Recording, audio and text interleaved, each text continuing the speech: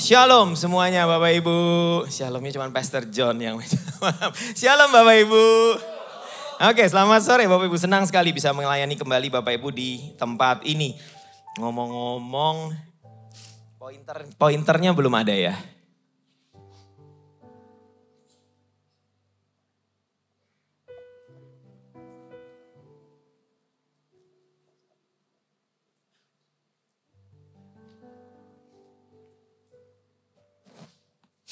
Oke. Oke, hari ini uh, empat kali ibadah. Saya kasih judul God has given. Ya, judul besarnya God has given ya, atau artinya Tuhan telah memberikan. Tuhan telah memberi, Tuhan telah mengasih, mengasih buat kita. Oke, uh, ini bukan tentang Tuhan akan memberi, ini bukan juga Tuhan sedang memberi, tapi Tuhan sudah memberi. Konteksnya sepanjang ibadah dari ibadah pertama sampai terima kasih, sampai ibadah keempat nanti, konteksnya adalah Tuhan sudah kasih itu berkat, ya tinggal sedikit lagi perjalanan bangsa Israel untuk mengklaim, untuk mendapatkan membawa pulang berkat itu. Sejengkal saja lagi. Tapi nanti Bapak Ibu di ibadah ketiga ini akan melihat blunder terbesar di sepanjang sejarah manusia yang dilakukan bangsa Israel ketika mereka hanya tinggal sejengkal saja dari berkat. So nanti konteks sharing saya adalah Bapak Ibu, ini bukan bangsa yang jauh dari berkat. Jadi nanti kalau Bapak Ibu mungkin saat ini ada ada dalam masa pergumulan yang kerasa nggak ya? Kadang-kadang masalah itu kalau udah semakin berat dan sudah semakin tidak tertahankan, itu tanda kita sudah begitu dekat God has given. Makanya saya bilang God has given. Tuhan telah memberi berkat itu. Dan kita lihat nanti. Ternyata manusia bangsa Israel yang diwakilkan bangsa Israel yang sudah dekat dengan berkat pun bisa blunder. Apalagi masih jauh gitu ya. Oke, nah bisa ditampilkan menunya. Oke, ada empat kali ibadah hari ini dan ada empat judul yang saya sudah siapkan buat Bapak Ibu. Dua pertama udah saya berikan di ibadah satu dan dua. Yang saat ini adalah ibadah ketiga berarti judulnya yang I want what I want. Aku mau apa yang aku mau. Aku tidak peduli yang Tuhan mau. Ya, cara ngelihatnya ini gini Bapak Ibu. Saya ajarin dulu cara ngeliat peta dan tulisannya ya. Ups, sorry. Kalau warnanya hijau tadi pagi, saya berarti bicara yang peta warna hijau. Suku apa? Yehuda, Judah. Saya bicara tentang Kaleb tadi pagi yang berumur 85 tahun tapi masih berani minta sama Tuhan berikan aku gunung itu. Makanya judulnya I want this mountain. Gunung yang mengandung banyak sekali raksasa paling besar, orang enak, anak kites. Orang enak itu adalah orang yang raksasa dari raksasa. Caleb di usia 85 dia minta sama Tuhan tanah yang paling sulit itu karena dia memegang janji Tuhan. Tadinya saya berharap di ibadah satu banyak para senior. Tapi ternyata kalau saya lihat sekarang lebih banyak sekarang ya. Harusnya yang yang, yang ibadah satu saya taruh di ibadah tiga gitu ya. Tadinya saya mau menargetkan ibadah satu itu karena uh, sepengetahuan saya banyak teman-teman bapak-bapak yang senior, bapak ibu yang senior umur di atas 55. Tapi kalau saya lihat dari sekarang ini, kayaknya lebih banyak hari ini ya. Nah bapak ibu, yang kedua dan ketiga warna merah, kita akan bicara tentang Ruben, Gad, dan setengah suku Menashe. Ini 12 suku Israel ya 12 suku Israel yang masuk ke tanah perjanjian dari Mesir, masuk ke Kanaan. Yang merah, dua ini kita akan kupas habis ini. Tadi pagi, eh tadi siang sebelum yang ini saya sudah kupas tiga poin yang kita bisa belajar dari Menashe dan setengah Ruben, setengah Gad. Sekarang hari ini saya akan kasih tiga poin lagi. Jadi ini mirip dengan yang ibadah sebelumnya. Nanti saya akan tunjukkan Bapak Ibu di penghujung di penghujung sharing khotbah saya apa konsekuensi yang mereka terima saya pun baru tahu dan saya terperanjat, terper, saya terkaget-kaget. Ya, ada konsekuensi, ada hukuman yang Israel terima karena ketidaktaatan ketika mereka begitu dekat dengan berkat, mereka blunder. Mereka bikin gol bunuh diri. Ya, so yang ini. Yang tadi saya bicara I want it now, mereka maunya sekarang. Mereka maunya tanah perjanjian diberikan sekarang. Nah yang ini, mereka maunya apa yang yang aku mau. Aku nggak peduli yang Tuhan mau. Atau kalau dalam bahasa sederhananya saya bilang hidup di pinggiran kehendak Tuhan. Jadi kehendak Tuhan itu tanah perjanjian itu ini, mereka maunya yang ini loh. Cuman sebelahan sih, tapi tetap aja. Kalau kita nggak masuk ke tanah perjanjian, mau sedekat apa pun, kita tetap orang luar. Kita tetap orang terluar. Orang asing bagi Tuhan. Nanti saya akan kupas hari ini. Nanti yang terakhir, yang keempat, I want it easily. Warna putih berarti untuk yang Ephraim dan ini harusnya putih nih, sorry ya. Ini harusnya dua ini putih. Manasye dan Ephraim itu anaknya Yusuf, Bani Yusuf. Yusuf punya dua anak kan, Ephraim dan Manasye. Jadi kalau di Alkitab disebut suku Yusuf, itu Manasye dan Ephraim. Kan dia punya dua anak, Manasye dan Ephraim. Ya, Beginilah ceritanya ke-12 suku Israel. Kalau kita hitung di sini ada, beneran ada 12 nggak? 1, 2, 3, 4, 5, 6, 7, 8, 9, 10, 11, 12. Ada 12 suku Israel. Pertanyaannya Lewi mana? Silahkan dikerjakan di rumah buat PR. Oke kita masuk yuk. Kita masuk I want what I want. Kita buka dulu firmannya di bilangan 32 Bapak Ibu. Nanti saya akan bacakan untuk Bapak Ibu. Bapak Ibu ngikutin saya aja. Bilangan 32. Oke, okay, oke. Okay.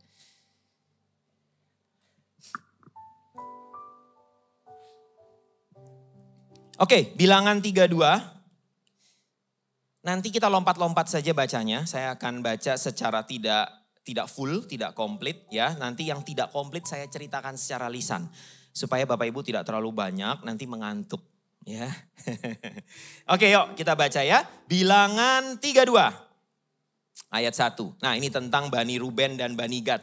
Tadi kalau yang di petanya Bapak Ibu lihat ya, Ruben, Gad, dan setengah Manasye. Jadi dua setengah suku ini yang saya mau bahas. Karena mereka tidak masuk ke tanah perjanjian. Mereka maunya tanahnya sendiri. Begitu kurang lebih ya. Yuk, adapun Bani Ruben dan Bani Gad, ternaknya banyak. Ikutin saya ya Bapak Ibu, ternaknya banyak, Bapak Ibu boleh tandain di Alkitabnya. Bahkan sangat banyak sekali. Ketika mereka melihat tanah Yezer dan tanah Gilead, itu tanah yang tadi di sisi timur. Yang bukan untuk mereka sebetulnya. Tuhan tidak pernah menjanjikan tanah itu ya. Tampaklah tempat itu tempat yang baik untuk peternakan.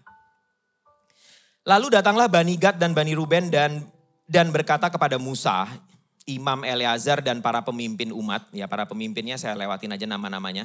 Negeri yang telah dikalahkan oleh Tuhan untuk umat Israel itulah suatu negeri yang baik untuk peternakan. Dan hamba-hambamu ini memang ada ternaknya. Sudah tahu ya arahnya nanti ke mana ya. Oke dan hamba-hambamu ini memang ada ternaknya. Lagi kata mereka, jika kami mendapat kasihmu Musa, biarlah negeri ini saja yang diberikan kepada hamba-hambamu ini sebagai milik. Janganlah kami harus pindah ke seberang sungai Yordan. Padahal tanah perjanjian itu ada di sana. Mulai sok tahu nih orang. Ya.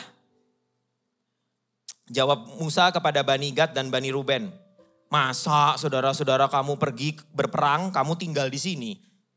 Nah, saya, saya jelasin lagi. Tampilin lagi petanya, saya jelasin ya. Oke.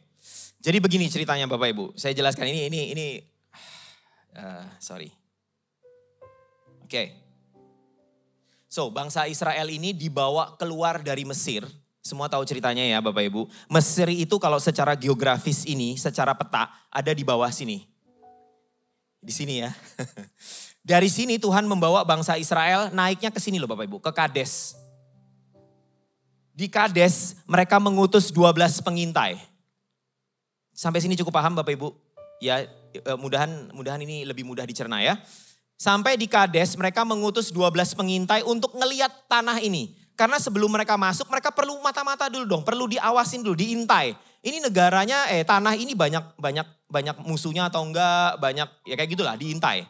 Diperiksa dulu.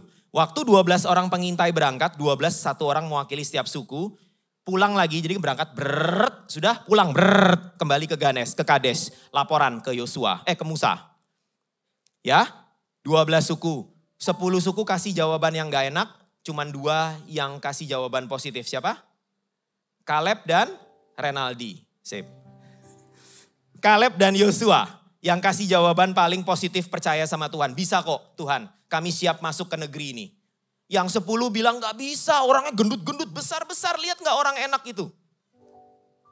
Gak bisa lah kita kayak belalang bagi mereka, kecil. Tuhan marah. Waktu Tuhan marah, ini bangsa nggak siap masuk ke tanah perjanjian. Padahal ya Bapak Ibu, padahal dari Mesir ke Kades untuk masuk ini hitungannya hanya harian berjalan kaki. Jadi sebetulnya Tuhan itu siap membawa mereka masuk ke tanah perjanjian hanya dalam 11 hari. Saya nggak tahu persisnya ya, tapi let's say 11 hari lah ya, 11 sampai 1 bulan.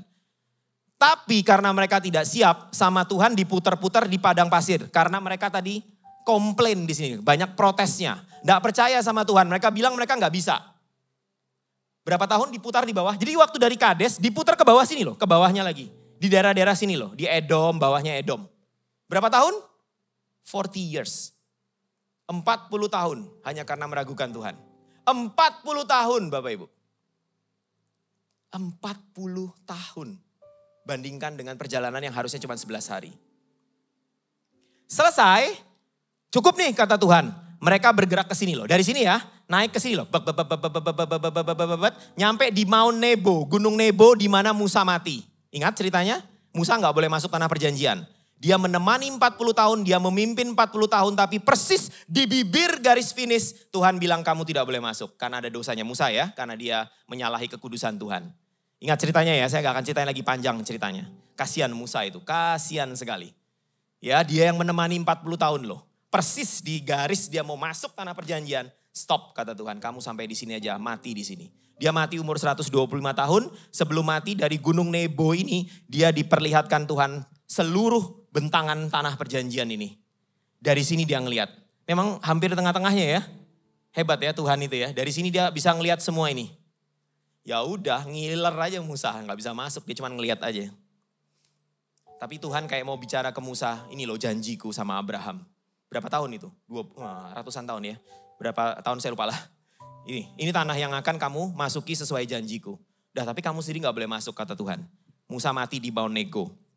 Mount Nebo, sorry. Uh, ada yang Nebo, ada yang bilang pegunungan, saya lupa namanya, Pisga ya. Pisga ya, Pastor John. Oke, okay, Pisga. Itu sama Bapak Ibu. Bapak Ibu kalau di kalau baca firman itu ini ya, ditelaah ya. Nanti kalau enggak banyak orang bilang, ah kitab banyak kesalahannya gitu. Pisga itu puncaknya. Nebo pegunungannya. Saya tanya sekarang, Himalaya sama Everest sama enggak? Iya. Himalaya itu pegunungan. Titik tertingginya Everest. Gunung Everest tertinggi di dunia sekarang Everest. Tingginya berapa? 8 kilo. Ini sama. Nebo ini titik nama pegunungannya. Titik puncaknya Pisgah. Jadi jangan dimau dibohongin orang Alkitab banyak kesalahan. Coba lihat yang satu bilang Pisgah, satu bilang Nebo. Baca, makanya baca. Dah, sampai di sini bangsa Israel udah ya Musa mati, mereka dipimpin oleh Joshua, pengganti Musa. Mereka bergerak masuk ke tanah Kanaan. Ini ini Sungai Yordan Bapak Ibu. Ini loh yang merah ini Sungai Yordan ini. Yang merah ini Sungai Yordan ya. Mereka menyeberang ke Sungai Yordan pertama yang dihadapi Yeriko. Masih ingat cerita tembok Yeriko yang dikelilingi tujuh kali runtuh? Ya itu perjalanannya. Begitu mereka masuk, mereka tinggal di Gilgal dan Siloh kalau saya nggak salah. Di sini mereka mengundi tanahnya. Siapa suku dapat tanah yang mana, dapat yang mana. Begitu selesai, mereka menyebar ke atas dan ke bawah. Terisilah tanah kanaan itu. Tapi ingat, Dua setengah suku ini tetap mau tanah yang ini. Oke, begitu ceritanya. Kita lanjutin, yuk. Oke, oh ayat berapa berarti? Ayat 5. Lagi kata mereka, jika kami mendapat kasihmu biarlah negeri ini diberikan kepada hamba-hambamu sebagai milik negeri yang tadi. Yang ini, yang merah. Padahal bukan tanah perjanjian ya. Lanjut. Janganlah kami harus pindah ke seberang sungai Yordan. Gila ini. Janganlah kami pindah ke sungai Yordan. Padahal itu rencana Tuhan yang awal. Original plan-nya Tuhan, original promise-nya Tuhan adalah yang haya hilang. Yang sisi barat. Oke, lanjut. Janganlah kamu, oke ayat 6. Jawab Musa kepada Bani Gad dan Bani Ruben. Masa saudara-saudaramu pergi berperang, kamu tinggal di sini. Masa saudaramu nyebrang, kamu enak-enakan di sini kata Musa. Nah lalu mereka nego. Mereka ber, bernegosiasi dengan Musa. Oke gini aja deh Musa, katanya yang dua setengah suku ini. Si yang Ruben, Gad dan setengah Menase. Cuman setengah Menase ya. Menase nggak full. Separuh tinggal, separuh ikut nanti. Jadi dua setengah suku saja yang tinggal di sisi tanah yang bukan perjanjian. Oke, okay? akhirnya mereka nego. Mereka bilang, oke, okay, kami ikut. Kami ikut tapi anak istri ternak kami tinggal. Kami ikut bantu yang sepuluh setengah, eh berapa berarti? berapa? Eh, sembilan setengah. Bantu yang sembilan setengah untuk masuk ke, ke tanah perjanjian melawan Yeriko dan lain-lain. Kami bantu perangnya. Begitu selesai, semua suku Israel udah duduk manis, kami pulang. Gitu ceritanya. Akhirnya sepakat. Ya sudah kata Musa boleh. Ya, itu kurang lebih seperti itu. Lanjut kita baca lagi ayat 16. Ya, jadi dari ayat 7 sampai 16 tadi ceritanya yang saya ceritakan tadi ya. Tetapi mendekatlah mereka kepadanya serta berkata, "Kami hendak mendirikan kandang-kandang kambing domba di sini untuk ternak-ternak kami dan kota-kota untuk anak-anak kami. Tetapi kami sendiri akan, nah ini ya, kami akan mempersenjatai diri dan bersegera kami akan berjalan di depan orang Israel. Kami akan ikut katanya. Ya, kami membawa mereka ke tempatnya. Sementara itu anak-anak kami akan tinggal dalam kota-kota yang berkubu. Berkubu itu kota yang dikasih benteng. Gitu ya. Jadi waktu mereka ikut, anak istri kan tinggal. Itu ternyata daerahnya belum aman Bapak Ibu. Ya, masih ada musuh. Ini keterlaluan ini. Ya, ini keterlaluan. Ini seorang papa yang sudah tidak percaya sama janji Tuhan, fokusnya cuma urusan ternak, anak istri tidak dipikirin, dia ikut nyebrang karena negosiasi dengan Musa, mau nggak mau harus anak istri ditinggal. Ya, tapi dibikinin kota, benteng-benteng sih, tapi itu belum aman. Ya, kalau sudah pikirannya pikirannya hanya untuk ternak ya jadi susah ya. 18. Kami tidak akan pulang ke rumah kami sampai setiap orang Israel memperoleh milik pusakanya. Sebab kami tidak mau uh, sebab kami tidak mau menerima milik pusaka di seberang sungai Yordan sana. Itu sama aja bilang itu sama aja bilang kami tidak mau menerima milik pusaka dari Tuhan. Sombong sekali. Ya, apabila kami mendapat milik pusaka di seberang sini. Apabila kami sudah mendapat yang kami mau. Kalau saya refresh artinya seperti itu. Poin nomor satu Bapak Ibu yang kita belas, yang kita bisa belajar dari sini Bapak Ibu. Memang akhirnya diizinkan sama Musa. Akhirnya Musa, walaupun saya juga nggak tahu sih Musa ini udah nanya Tuhan belum ya? Saya nggak tahu sih, di firman nggak disebut. Tapi saya asumsikan Musa belum bertanya ke Tuhan. Waktu mereka punya permintaan itu. Ya. Jadi ini bukan plan awalnya Tuhan, tapi Tuhan terpaksa mengizinkan. So poin nomor satu Bapak Ibu yang saya mau bagikan hari ini. Targetkan selalu kehendak aslinya, kehendak awalnya.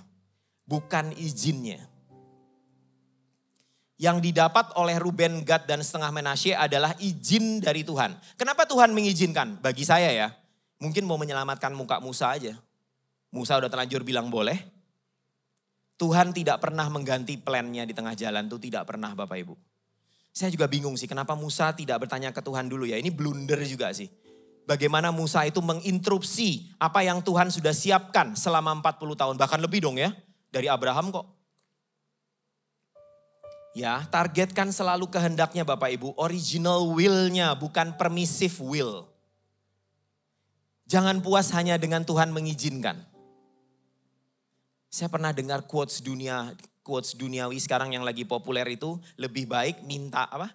Lebih baik minta maaf daripada minta izin. Sama ini. Tuhan itu hanya mengizinkan Bapak Ibu. Tidak, bukan itu plan awalnya Tuhan. Jadi bangsa ini terjebak di dalam keinginannya sendiri dan Tuhan hanya kasih izin saja sebetulnya. Ya sudahlah kata Tuhan. Itu bukan original will-nya Tuhan, tapi itu permissive will. Hati-hati Bapak Ibu.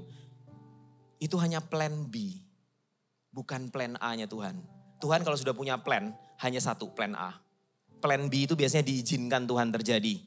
Karena konsekuensi kita, karena kita mungkin berbelok, kita berubah hati dan lain-lain. Tapi dia selalu punya satu plan, plan A. Dan bangsa ini gagal membaca itu. Ruben, Gad, dan setengah Manasye ini gagal membaca itu Bapak Ibu. Kebanyakan orang Kristen, kebanyakan orang Kristen ya, menyerah, menyerah terhadap plan A dan hidup dengan plan B-nya Tuhan. Tragis sih. Tinggal di pinggiran kehendak Tuhan Bapak Ibu, tidak bisa tidak bisa dibilang sudah dekat dengan Tuhan. You are still an outsider, ada quotes-nya. Bisa ditampilin Bapak Ibu. Tinggal di pinggiran kehendak Tuhan, tidak bisa dibilang sudah dekat dengan Tuhan. Sudah dekat pun tetap tidak berada di dalam tanah perjanjian Tuhan. You are still an outsider. Bapak Ibu tetap orang asing. Kalau kita lihat di peta tadi, mereka tuh dekat hanya dipisahkan oleh sungai. Bukan laut yang memisahkan. Sungai Yordan. Saya sih nggak pernah lihat sungai Yordan ya, berapa meter ya lebarnya.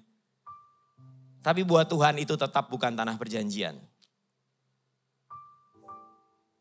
Ya, plan B itu tidak pernah cukup buat Tuhan. Gak pernah cukup Bapak Ibu. Ya cilakanya lagi, cilakanya lagi Bapak Ibu kalau baca ayat 31 ya. Ini biasanya ciri-ciri orang Kristen, coba ya. Ayat 31 kita baca ya sama-sama. Lalu Bani Gad dan Bani Ruben itu menjawab, apa yang difirmankan Tuhan kepada hamba-hambamu ini akan kami lakukan. Bapak Ibu kerasa nggak? Mereka menolak janji Tuhan. Mereka menolak maunya Tuhan. Lalu mereka bilang seperti ini. Mana tadi? Apa yang difirmankan Tuhan kepada hamba-hambamu ini akan kami lakukan. Kerasa ada yang aneh nggak?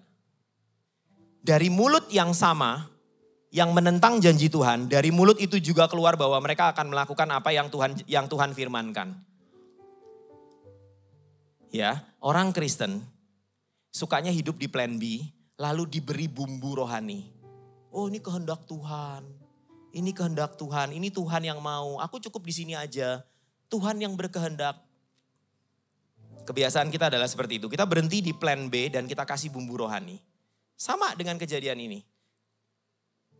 Apa yang di, tadi tadi tadi mereka bilang kan uh, apa yang difirmankan Tuhan kepada hambamu ini akan kami lakukan. Ini maksudnya ketika Musa sudah setuju mereka untuk ikut berperang dulu nanti selesai baru pulang. Jadi mereka itu hanya setuju pada apa yang menyenangkan hati mereka. Kenapa sih Bapak Ibu? Saya tanya sekarang ya. Kenapa plan B itu begitu menggoda buat kita? Tahu nggak? Kenapa sering kali kita itu berhenti di plan B? Kita nggak terus lanjut ke plan A-nya Tuhan. Yang pertama karena hasilnya cepat. Hasil aman, kita udah merasa aman lebih dulu. That's why kita berhenti di plan B-nya Tuhan. Saya bahas ini tadi di ibadah kedua. Bapak Ibu bisa nonton lagi. Yang kedua, karena terlihat sudah sempurna plan B ini. Kalau Bapak Ibu perhatikan ya di ayat awal-awal tadi, yuk kita baca lagi. Ayat 1. Adapun Bani Ruben dan Bani Gad ternaknya banyak, bahkan sangat banyak sekali. Ketika mereka melihat tanah Yezer dan Gilead, tampaklah tempat itu tempat yang baik untuk peternakan. Mereka melihat, it seems so perfect for me, for us terlihat begitu sempurna, cocok kok. Ya, itu yang bikin kita berhenti di plan B. Plan B terasa begitu cocok buat kita. Jodoh, terutama. Cocok kok yang ini mah, aduh cocok yang ini mah. Padahal bukan itu jodohnya. Yang ini cocok mama pasti suka dah, mama pasti suka. Uh. Udah lama sama yang ini aja gitu. Everything seems so perfect. Sampai nanti akhirnya kita tahu bahwa itu bukan rencananya Tuhan. Dan everything sudah terlambat. Yang ketiga, kenapa plan B itu begitu menggoda? Ya daging itu lemah. Daging itu lemah, berkat duniawi itu sangat menggoda. Berkat duniawi itu saking menggodanya, sering kali berkat duniawi itu mengalahkan berkat rohani. Kalau saya bicara berkat, pasti Bapak Ibu pikirannya ke berkat duniawi kan? Itu kebiasaan otak kita berpikir. Berkat duniawi pasti Bapak Ibu, eh kalau saya ngomong berkat, Bapak Ibu pasti mikirnya berkat duniawi kan? Enggak loh, berkat rohani juga enggak kalah keren tuh dari berkat duniawi. So itu yang bikin kita berhenti di plan B-nya Tuhan. Kita pingin cepat, ya kan? E, yang kedua tadi kita merasa ini begitu pas, begitu cocok, begitu sempurna. Yang ketiga daging itu lemah kok. Begitu kita digoda sedikit aja, langsung berhenti di tempat cara iblis menggoda kita untuk tidak sampai di rencana A-nya Tuhan, plan A-nya Tuhan. Dia kasih plan B yang mirip-mirip. Yang buatan Cina-nya plan A. KW-nya. Maka kita akan berhenti di situ. Tetap aja tadi saya udah bilang di quotes. Kalau Bapak Ibu tinggal sejengkal saja masuk ke tanah perjanjian, tetap aja itu belum masuk. Mau kurang satu mili kayak, Bapak Ibu tetap outsider, tetap orang luar. So hati-hati Bapak Ibu, cari selalu kehendak aslinya, bukan permissive will-nya. Itu yang nomor satu Bapak Ibu. Kita lanjut yang nomor dua. Ayat 16 kita baca. Bapak Ibu baca ya, sama-sama dengan saya ya. Tetapi mendekatlah mereka kepadanya serta berkata, kami hendak mendirikan kandang-kandang kambing domba di sini untuk ternak kami dan kota-kota untuk anak-anak kami. Bapak Ibu perhatiin ada yang aneh nggak di sini? Saya ulangin, sama-sama baca ya. Saya ulangin ya. Tetapi mendekatlah mereka, enggak usah dari situlah, dari kami aja. Kami hendak mendirikan kandang-kandang kambing domba di sini untuk ternak dan kota untuk anak-anak kami. Ada yang, ada yang aneh nggak? Masih belum ketemu. Saya ulang terus loh sampai malam. Yuk, kami hendak mendirikan kandang-kandang kambing domba di sini untuk ternak kami dan kota untuk anak kami. Mana yang lebih penting kira-kira, ternak atau anak? Kalau ngomongnya kayak gini. Come on, mana yang lebih penting? Sama-sama nak sih belakangnya. Mana yang lebih penting buat mereka? Bapak Ibu tadi saya udah baca dari awal berkali-kali saya menekankan bagian ternak. Yang ada di dalam pikiran Ruben Gad ini ya sama setengah Menashe ini ternak saja. Harta. Anak nomor dua. Nanti sama Musa diluruskan, cuman saya nggak bahas itu ya. Nanti waktu tadi yang yang ayat yang nggak dibaca itu, itu Musa diluruskan sama Musa loh. Musa bilangnya, oke okay, ya sudah deh, ini tanah buat kamu, kamu bangun kota buat anakmu dan ternak. Sama Musa dibalik. Maksudnya Musa ya kamu pikirin anakmu dong daripada ternakmu. Ada, tapi biar saya waktu saya terbatas ya. Tapi dari sini kita bisa ngelihat. Poin nomor dua yang Bapak Ibu perlu catat, perlu pelajari dari sini. Uang itu sering kali menjadi tiruan Tuhan. Ya, money is the imitation of God. Ya, uang itu sering kali menjadi tiruannya Tuhan. Sampai Bapak Ibu merasa perlu menyembahnya. Tidak bisa hidup tanpanya uang sering kali menjadi tiruan Tuhan. Uang itu jahat nggak? Saya tanya. Uang itu jahat nggak? Kalau ada bapak ibu yang bilang jahat, kasih ke saya uangnya. Yang jahat cinta uang bapak ibu. Cinta uang adalah mother of all evil. Ibu dari segala kejahatan. Kan firman bilang, bukan uangnya, cinta uangnya. Uang itu, that's okay. Kita bisa kelola uang itu. Tapi begitu uangnya yang jadi tuan kita, habis hidup kita. Ya, lihat ternaknya lebih penting daripada anaknya. Bapak Ibu, sorry ya, saya harus bilang sih, berkali-kali saya berapa kali khotbah saya juga bilang sorry, sorry. Menurut saya Bapak Ibu ya, Bapak Ibu yang bekerja di luar, eh, berpisah, bekerja dengan kondisi terpisah dengan suami dan anak. Hai, halo fathers, you have to come home. Pulang. Saya tidak bilang itu sekarang Bapak Ibu harus pulang ya. Saya tahu lah ada pekerjaan yang harus masuk ke area-area saya tahu. Tapi tolong masukkan dalam agenda doa bahwa Bapak Ibu rindu untuk berkumpul. Kalau enggak, Bapak Ibu tuh lebih mentingin uang daripada keluarga. Sorry to say. Bapak Ibu bilang, enggak lah kamu, kok ini ngomong sembarangan. Come on. You know that. I know that and you know that. Deep down in your heart, you know that. Kalau keluarga lebih penting, pasti kita akan kumpul sama keluarga. Pasti. Jadi kalau Bapak Ibu kerjanya masih terpisah, saya nggak nggak bilang harus ya. Sekarang juga ya saya tahu lah ada beberapa yang berpisah, ada yang kerjanya di dalam site eh, mining mining ya, tambang-tambang yang ya sulit lah ya.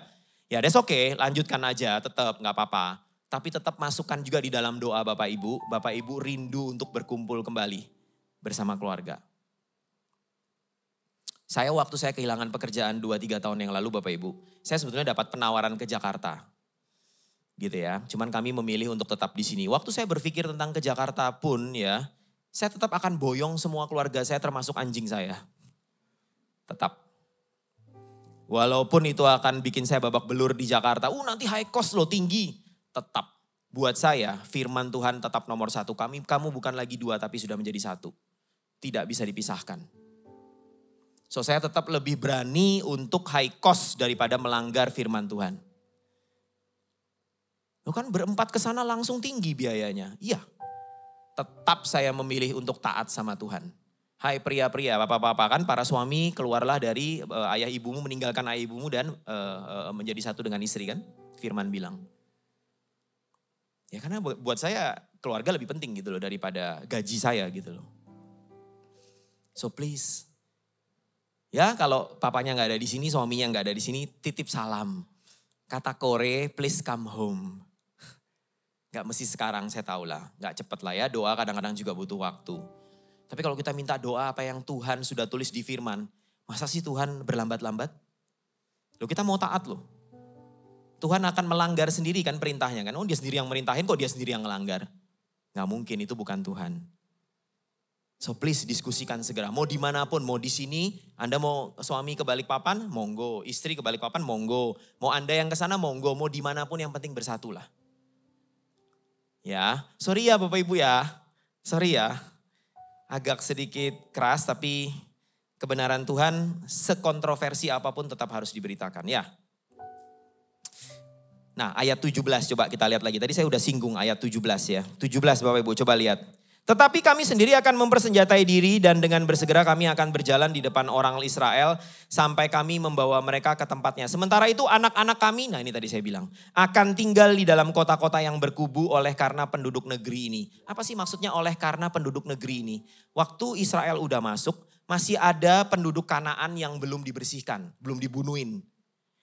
Nah itu berbahaya, makanya mereka bikin kota-kota kubu-kubu, benteng-benteng untuk melindungi anaknya. Hmm, kelihatan kelihatan mulai ngawurnya kan. Yang sembilan setengah bawa semua anak istrinya. Yang dua setengah demi dapetin tanah buat ternak. Mereka oke okay, ikut Israel menyeberang, oke, okay, tapi anak-anak ditinggal. Dalam daerah yang belum aman. Wow. Ini semua pria loh yang berangkat. Semua pria ya mungkin ditinggal satu kali ya, saya nggak tahu lah. Satu untuk buka tutup pintu kali ya. Ini semua pria loh ya. Kalau Israel bilang perang itu semua pria. Yang sudah berumur di atas berapa? 17, 20 ya saya lupa. Ngaur ya. Sudah mulai ngaur. Kalau ternak itu menguasai pikirannya, segala pengambilan keputusannya jadi blunder. Jadi salah.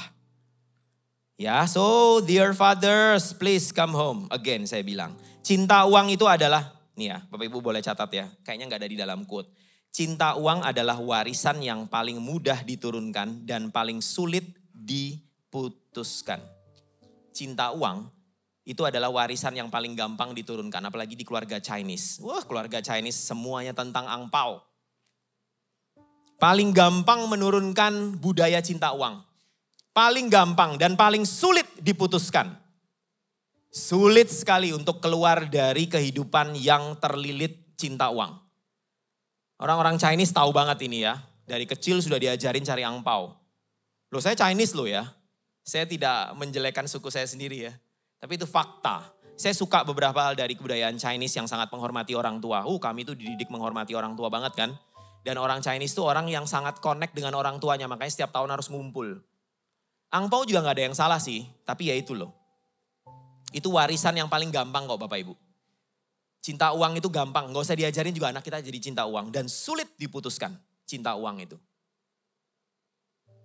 Sebaliknya, cinta Tuhan adalah warisan yang paling sulit diturunkan dan paling mudah diputuskan. Kebalikan dari uang. So kalau saya jadi bapak ibu, saya mau pilih yang sulit. Saya nggak mau pilih yang gampangan. Saya mau pilih yang cinta Tuhan. Karena itu yang sulit diajarkan. Dan itu yang paling mudah diputuskan. Gampang banget Bapak Ibu mutusin orang dari Tuhan tuh gampang banget. Kalau nggak jaga hati ya, nggak jaga dengan segala kewaspadaan, gampang kok. Kasih aja kekecewaan. Kita aja loh nih ya, ini saya sharing nih para pelayan Tuhan ini ya. Para pelayan Tuhan itu kan parkirnya harus di kelapa sana tuh. Es kelapa dijagain sama Yos, mana Yos? Oh Yos nggak ada ya, suaminya Stevi itu. Yos tuh yang mantau kami semua. Kami ini para pelayan Tuhan parkir di sana ya. Untuk jalan ke sini kadang tuh kami tuh kadang ngomel loh. Itu bisa bikin rasanya malas ke gereja itu Bapak Ibu. Tadi pagi saya khotbah pertama, saya parkir di sana. Gitu ya. Terus saya jalan ke sini. Jalan ke sini lagi hujan tadi pagi itu. Hujan, saya kehujanan. Saya ini nggak bisa kena air hujan kepala, langsung pusing. Itu saya mulai ngerutuin, waduh ini saya jalan ke hujan gak ada yang mayung. Ini pembicara loh, pembicara ini. gak, gak.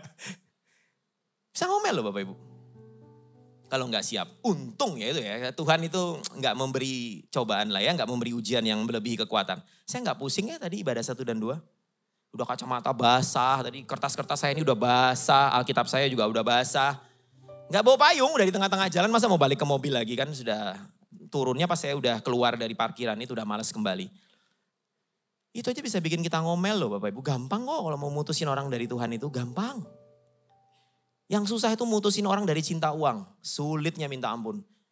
Gagal bisnis coba lagi, gagal coba lagi, dihianatin orang coba lagi. Wah bangkit terus kalau bisnis. Kalau Tuhan, sekali aja dikecewain gak mau CG. Aneh kan prinsip yang sama tapi Bapak Ibu gak fair, diskriminatif. Bapak Ibu pakai prinsip investasi di bisnis, tapi gak pakai prinsip yang sama di kerohanian. Ya kan? Kalau di bisnis coba, Mulai hal yang baru, wah kita harus nyoba hal yang baru kok, semua bisa dipelajarin. Wah coba bisnis baru ya, semangat hal baru. Begitu disuruh masuk CG, orangnya baru semua belum kenal, nggak ada yang kenal kok males ah. Gak punya energi untuk memulai kenalan yang baru. Loh kok mulai bisnis kok punya? Lah kok nyoba untuk teman baru di CG kok males?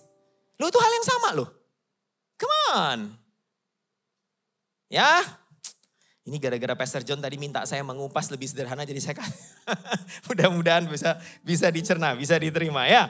Oke, Bapak Ibu, ada satu penyakit cinta uang yang kita bisa lihat dari orang Ruben Gad diturunkan sampai perjanjian baru, cinta uang. Ya, tadi kita bisa kita kita bisa lihat orang Ruben dan Gad itu saking cintanya sama ternak, mengorbankan anak, mengorbankan istri, ya, mengorbankan Tuhan demi ternak. Kita lihat ini tadi saya bilang kenapa sulit diputuskan cinta uang itu. Ini turun sampai ke zaman perjanjian baru. Kebetulan ini materi khotbah saya di AOG beberapa bulan yang lalu. Coba kita buka. Markus 5, 14 sampai 17 ditayangkan di layar aja ya, biar saya nggak bolak-balik Alkitabnya. Bapak Ibu tahu cerita eh, Yesus mengusir uh, setan, mengusir iblis dari tubuh orang gila? Tahu ya? Nah ini ceritanya, saya akan bacain. Yuk maka larilah penjaga-penjaga babi itu dan menceritakan hal itu di kota dan di kampung-kampung sekitarnya. Ini ketika Yesus mengusir dua, uh, nggak disebut dua ribu sih, cuma disebut legion. Jadi uh, iblis yang masuk ke orang gila itu legion. Legion itu dalam hitungan Romawi dua ribu, dua ribu serdadu, satu legion. Ya, jadi iblis yang masuk ke orang gila itu satu legion, dua ribu. Yesus datang ke situ ini daerah Gedara namanya atau Gerasa Bapak Ibu harus tahu juga Gedara dan Gerasa dua area yang berdekatan. Di Markus nyebutnya Gedara kalau saya nggak salah. Nanti di Lukas nyebutnya Gerasa. Banyak juga orang bilang, oh Alkitab lihat salah terus. Gedara dan Gerasa kota yang berdekatan. Kalau Markus pakai Gedara karena dia bicara ke orang Israel, Yahudi. Kalau Gerasa karena si, saya lupa Matius atau Lukas. Dia bicara ke orang Romawi. Jadi mereka pakai dua kota yang berbeda tapi itu merujuk kota yang sama. Gedara. Maka larilah. Jadi waktu Yesus datang, bek ada orang gila datang, orang gila itu sampai takut sama Yesus, langsung sama Yesus orang gila itu iblisnya diusir, dimasukkan ke babi. Ingat gak? 2000, kebetulan ada babinya juga 2000. Satu orang satu dong ya. Eh kalau nggak salah 2000 babi. Dan akhirnya babi itu masuk ke jurang. Habislah di sana.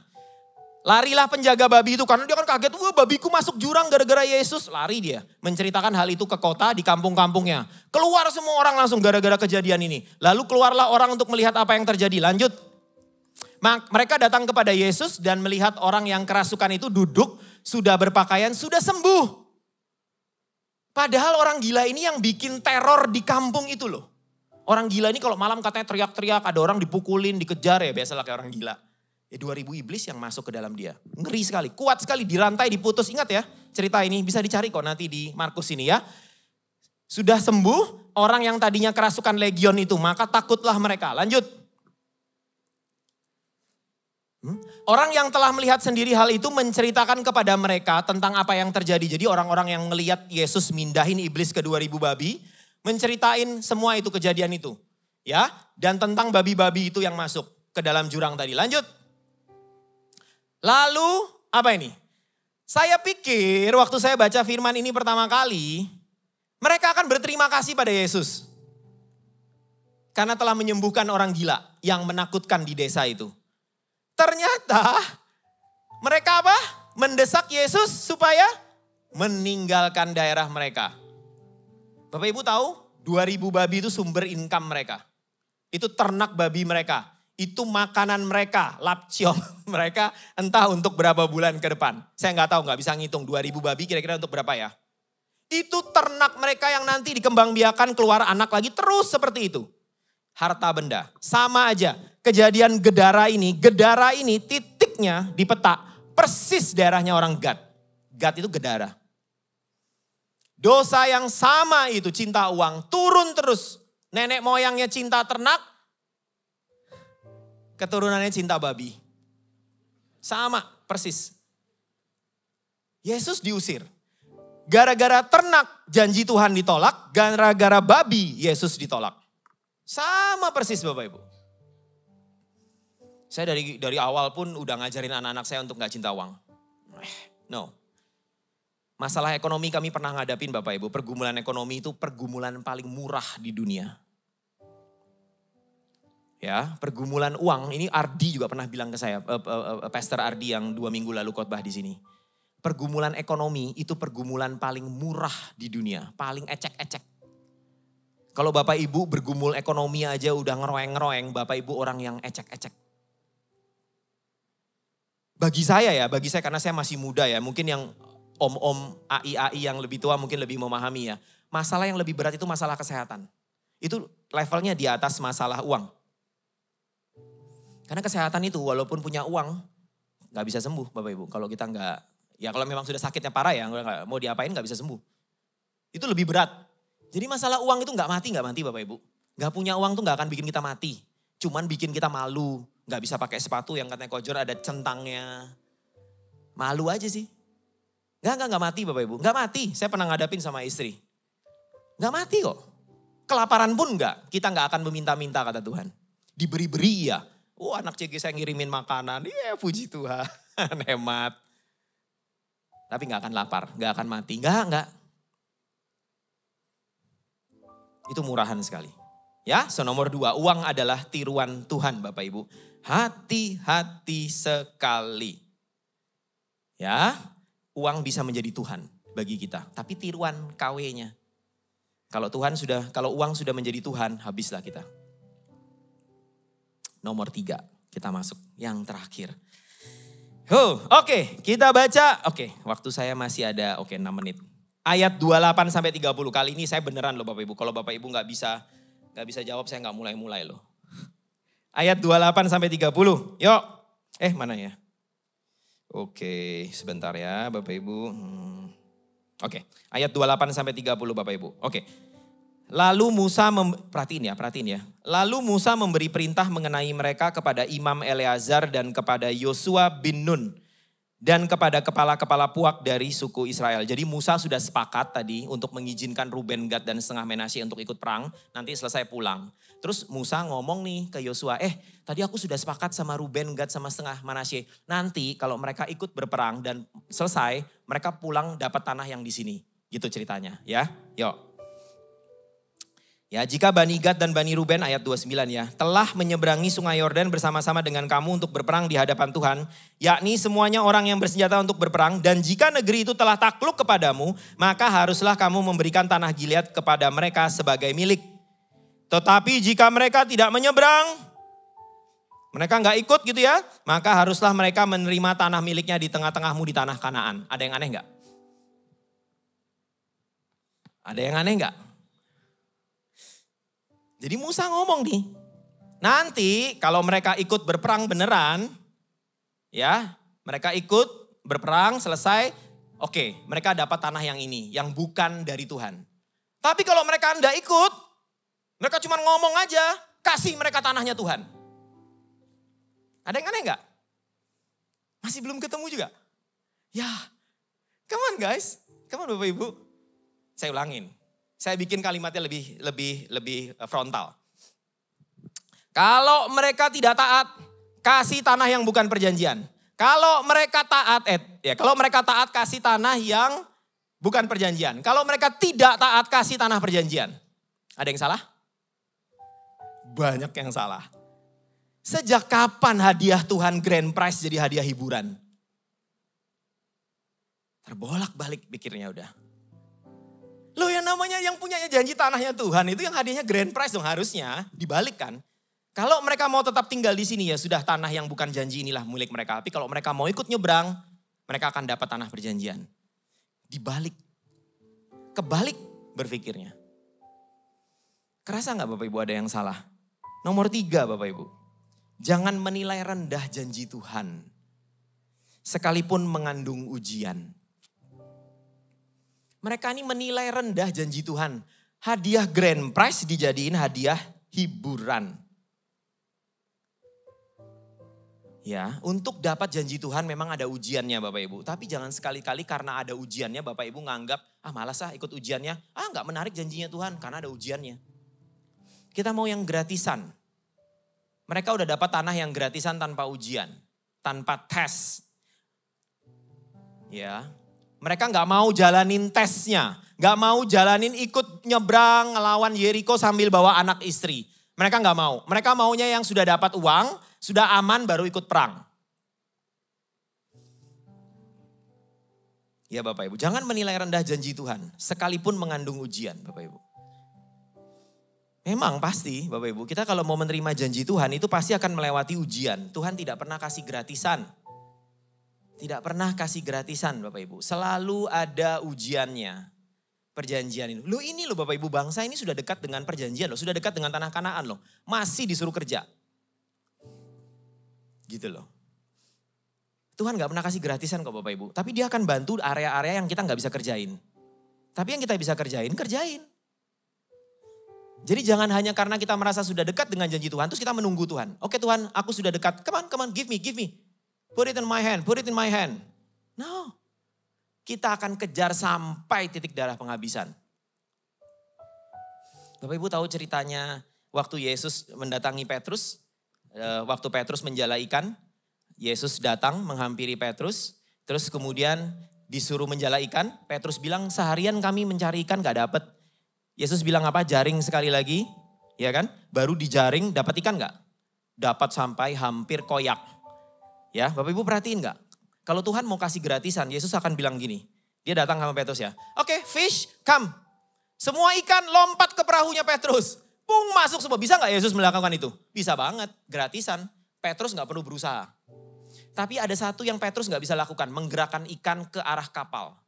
Sehingga waktu dijaring, ingat Petrus tetap harus menjaring loh. Gak ada gratisan. Itu ikan udah deket. Tapi Tuhan gak akan perintahkan, hey fish come on jump on the boat. Lompat ke dalam perahu. No. Tuhan bisa gak? Bisa. Yesus bisa bilang kok. No. Sampai tuntas. Pasti pekerjaan Tuhan itu akan menuntut kita sampai tuntas. Jadi jangan jangan jangan berharap gratisan. Ya, Bapak Ibu. Itu poin saya yang nomor tiga. Jangan menilai rendah janji Tuhan. Bapak Ibu tahu apa akibatnya ketika dua setengah bangsa ini, dua setengah suku ini minta tanah yang bukan dari Tuhan? Saya akan tunjukkan buktinya. Ya, sebetulnya ada beberapa bukti, cuman waktu saya sudah habis, saya tunjukkan yang paling ekstrim saja. Apa yang terjadi ketika dua bangsa ini ngotot mau tanah? Coba tampilin petanya lagi. Peta yang terakhir aja. Oke Bapak Ibu, lihat ini akibat bangsa yang tidak taat. Ya, ini peta yang tadi saya bilang, peta 12 suku Israel di zaman perjanjian lama. Ini peta Israel sekarang. Zaman modern.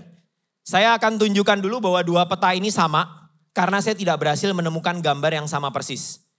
Ya, coba kita lihat. Ini Laut Mediteranian benar ada di sini? Benar ya? Benar ya?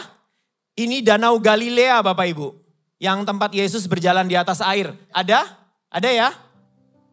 Oke, ini peta Israel sekarang loh. Sekarang, baru kemarin ini. sekarang ya. Ini laut mati Bapak Ibu. Yang kalau kita berenang bisa ngapung, banyak garamnya. Tahu? Ada nggak di sini sekarang? Ada ya? Ini ya? Ada ya? Ini sungai Yordan tadi saya bilang. Ada sungai Yordan? Ada ini. Nih, nih, nih. Oke, pertanyaan saya. Apa yang tidak ada? Yang hilang? Apa yang hilang? Ruben, Gad, Menashe tanahnya hilang sama sekali. Lihat. Harusnya di sini kan. Jadi Jordan sekarang, Yordania, aman, ibu kota Jordan. Jordan. Jordan, ini loh. Harusnya ini ada di sini kan? Come on. Tuhan tidak pernah berjanji memberikan itu, dipotong sama Tuhan. Sekarang Israel tidak sama sekali tidak ada di sini. Mereka pertama kali digunting daerahnya memang di zaman raja-raja. Ada di Alkitab cuman saya kehabisan waktu. Tuhan potong area ini duluan. Saya pikir kan setelah dipotong kan Israel dibuang ke Babel. Setelah dari Babel kan dikembalin sama Tuhan kan, ingat nggak? Zaman Nehemia dan kawan-kawan. Saya pikir Bapak Ibu, waktu kembali mereka kembali lagi ke sini ini dan ini gitu loh. Saya baru tahu waktu saya nyiapin khotbah ini. Saya kaget. Lah mana? Mana yang ini? Ternyata waktu dipotong zaman raja-raja itu hilang selamanya. Ya, daerah itu hilang sudah Bapak Ibu. Sampai sekarang. Sampai sekarang tidak ada lagi daerah Ruben, Gad, dan setengah Menashe. Dan Bapak Ibu perhatiin ini, fakta-fakta ini tidak ada dalam Alkitab tapi tebakan saya. Bapak Ibu perhatiin nggak? ya ini Gad Ruben ini jumlah orang penduduknya, jumlah sukunya sama dengan kurang lebih Efraim dan Benyamin, Isakar, Zebulon itu kurang lebih sama. Ya, jumlah penduduknya 40 ribu sampai 60 ribu, kurang lebih sama. Kalau Bapak Ibu lihat, kalau Benyamin, Efraim dan ini 40 ribuan, tanahnya segini dibandingin dibandingin Gad, Ruben, kalau ini kira-kira berlebihan nggak? Berlebihan banget Bapak Ibu. Menurut saya ya, menurut saya, ini nggak ada di dalam Alkitab. Harusnya Ruben dan Gad ini pindah di sini loh, ngisi ini. Bapak Ibu tahu ini apa? Sekarang? Jalur Gaza. Nih, nih loh, yang kotak kecil nih loh. Daerah yang sering konflik. Seandainya Ruben Gad tidak ngotot mau di sini, dugaan saya mereka sudah mengisi daerah ini. Karena ini pinggiran laut, Bapak Ibu. Kalau Tuhan kasih area buat Israel, mereka akan kasih yang terbaik. Setiap area yang terbaik itu daerah pinggiran laut. Bapak Ibu tahu Balikpapan Kalimantan itu semua penduduknya di pinggir laut semua. Tidak ada yang masuk-masuk ke dalam itu tidak ada. Hutan semua. Kalau Tuhan ngasih yang terbaik, kenapa yang ini nggak dikasih? Karena mungkin dugaan saya ini harusnya Gad dan Ruben yang di sini. Gitu loh Bapak Ibu. Tragis ya. Kalau kita salah semua itu, saya waktu ngeliat ini merinding, saya beneran merinding Tuhan. Luar biasa sekali. Ya, Bapak Ibu tahu ini? Ini, ini yang ada ini putus-putus ini. Ini, ini, ini, ini, ini namanya West Bank, tepi barat. Tepi barat dan jalur Gaza daerah yang sering konflik. Tepi barat itu masih eh, tepi barat ini menjadi perebutan eh, Palestina sama Israel sampai sekarang. Masih diawasi PBB. Coba kita lihat, daerah yang bermasalah ini daerahnya siapa? Menashe ini loh. Ini loh hukuman buat Menase dan Efraim karena separuh saudaranya tidak taat. Mau tinggal di sini. Ke mana-mana penyakitnya Bapak Ibu. Kalau nggak taat sama Tuhan. Nggak tinggal di tanah perjanjian. Penyakitnya ke mana-mana.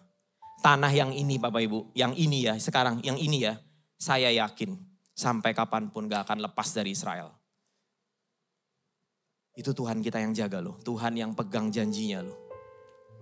Gak akan. Saya jamin. Nggak akan. Setelah saya baca ini ya, wow. Ini tuh ya, itu tuh daerah yang dijanjikan Tuhan ke Abraham loh. Sampai detik ini kan gak ada yang bisa nyongkel Israel dari sini. Yang ini karena bukan janji Tuhan, pek gampang hilang. Tuhan tidak berutang apa-apa kalau bukan janjinya. Tapi yang ini saya yakin tidak akan hilang. Ada yang mau taruhan sama saya? Gak akan hilang Bapak Ibu. Itu janji Tuhan. Firman sudah bilang itu janji Tuhan untuk semua tanah kanaan diberikan. Saya bukan pro Israel Bapak Ibu. Ya saya tetap cinta tanah air. Tapi saya tahu Tuhan saya itu Tuhan yang bisa pegang janji. Gak akan hilang. Sampai kapan pun walaupun dunia bilang nanti Israel akan. Israel apa, akan dihilangkan dari mana peta dunia. No. Orang yang ngomong seperti itu berhadapan dengan Tuhan langsung. Tuhan yang berjanji itu nggak akan hilang Bapak Ibu. Tapi kalau Bapak Ibu keluar dari janji, keluar dari tanah perjanjian, nah itu masalah. Dia nggak berjanji apa-apa, dia tidak berutang apa-apa kalau di luar janjinya. Untuk merangkum, tiga poin saya undang PAW naik ke atas panggung yuk. Tiga poin Bapak Ibu yang bisa dibawa pulang dari pelajaran ini. Yang pertama, targetkan kehendaknya tadi saya udah bilang ya, bukan izinnya. Selalu cari original will-nya, bukan permissive will-nya. Ya, Bapak Ibu, tinggal di pinggiran kehendak Tuhan itu tidak sama dengan tinggal di dalam janji Tuhan. Anda tetap outsider. Cari original will-nya, bukan plan B-nya. Cari plan A-nya. Karena hanya ketika kita sampai di plan A-nya, bahagia kita tuh akan utuh dan penuh. Kalau enggak, enggak. Nomor dua, uang adalah tiruannya Tuhan. Uang punya sifat yang mirip sama Tuhan, suka disembah dan suka menguasai hidup orang. Hati-hati dengan itu Bapak Ibu. Cinta uang itu sulit diputuskan, gampang diwariskan. Cinta Tuhan sebaliknya. So kalau saya jadi Bapak Ibu, saya akan pilih yang sulit. Karena saya bukan orang murahan. Saya tertantang untuk melakukan yang sulit. Saya tidak tergoda sama sekali untuk mencoba yang gampang. Yang ketiga, terakhir, jangan menilai rendah janji Tuhan. Janji Tuhan itu selalu jadi grand prize dalam hidup kita. Jangan dijadiin hadiah hiburan. Jangan dibolak-balik berpikirnya. Ya, jangan menilai rendah, jangan menilai rendah janji Tuhan sekalipun ada ujiannya. Hanya karena kita malas melalui ujian, lalu kita menilai rendah janji Tuhan. Kita menghibur diri, ah lah kali kayaknya itu uh, bukan janji Tuhan deh, bukan deh. Karena kita malas melewati ujiannya. Sama seperti Ruben, Gad, dan setengah Menashe yang malas ikut nyebrang beserta anak istri. Dan jangan lupa konsekuensinya. Apa yang tidak dijanjikan Tuhan, Tuhan tidak bertanggung jawab apa pun untuk menjaganya. Gak lama itu akan hilang Gak usah nyari yang cepat gampang dapatnya. Amsal bilang apa yang didapat dengan mudah pada akhirnya tidak menjadi berkat. Kita tutup Alkitab kita, kita naikkan satu pujian. Saya undang Bapak Ibu untuk bangkit berdiri.